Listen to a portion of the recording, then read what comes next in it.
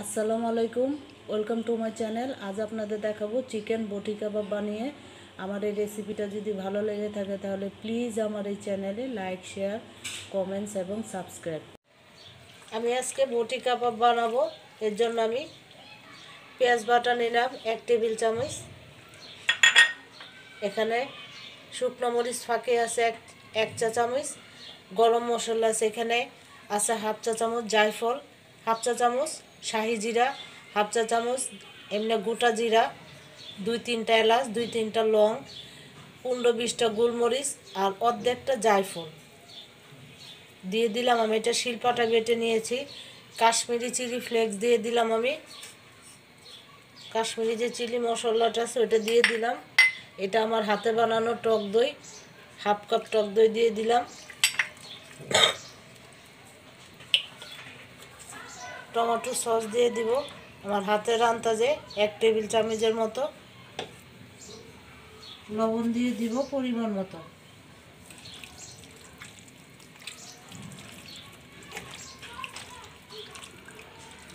এটাকে এখন আমি মেখে চার পাঁচ ঘণ্টার জন্য রেখে দিব। তাহলে যতটা এটা রেখে দেওয়া যায়, কমপক্ষে দুই ঘণ্টা রাখবেন। তাহলে মশলাটা ভালো করে ঢুকবে আমি এটা চার পাঁচ ঘণ্টার জন্য রেখে দিব। মশলাটা মাংসের ভিতরে ভালো করে ঢুকবে। এখন আমি চার ঘণ্টার জন্য ফ্রিজে রেখে দিলাম। যেহেতু চার, পাঁচ ঘণ্টা রাখতে হবে, সেহেতু বাইরে রাখা যাবে না। দুই, এক ঘণ্টা হলে রেখে দেওয়া যেত বাইরে। এখন যেহেতু পাঁচ ঘণ্টার জন্য রেখে দিব, আমি এটা এখন নর্মাল ফ্রিজে রেখে দিচ্ছি। আমি হাড্ডি সহ আজকে আমি বটি কাবাবটা বানাবো। এর জন্য আমি হাড্ডিগুলোও আলাদা করে রেখে দিয়ে নিই সবই নিয়েছি ছোট ছোট পিস করে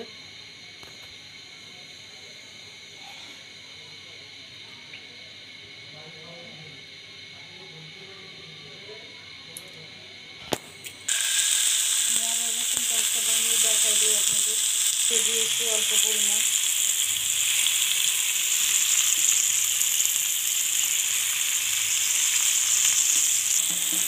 বাকিগুলো আমি এভাবে বানিয়ে নিই। আমরা আমার আরেকটু হবে।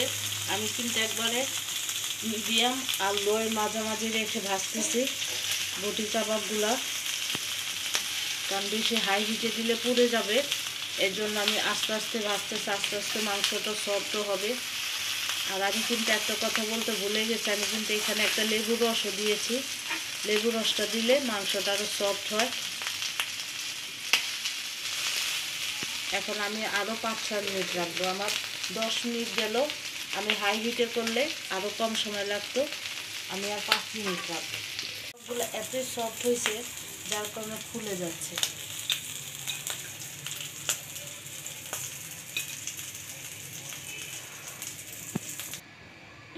এখন আমি বাকিগুলো এভাবে ভেজে নিই। আমি আরেকবার একটু সরিষার তেল দিয়ে দিয়েছি। দিব।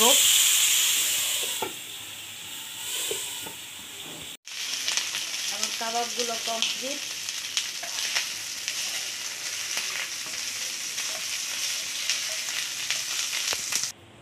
আমার বটি কাবাব। চিকেন বটি কাবাব কমপ্লিট আপনারা সবাই সুস্থ থাকবেন, ভালো থাকবেন।